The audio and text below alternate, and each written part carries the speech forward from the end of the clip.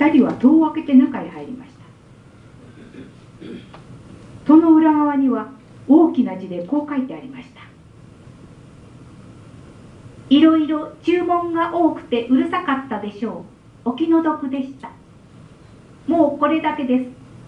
どうか体中に壺の中の塩をたくさんよく揉み込んでください。なるほど。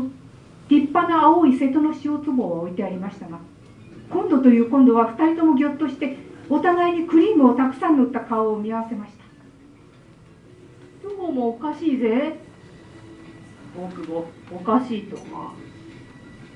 たくさんの注文というのは向こうがこっちへ注文してるんだよ。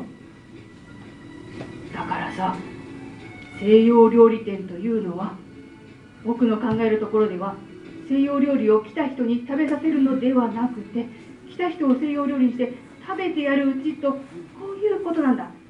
これはそのつつまり僕らがガタガタガタガタ震え出してもう物が言えませんでした。逃げガタガタしながら一人の紳士は後ろの戸を押そうとしましたがどうです？戸はもう一部も動きませんでした。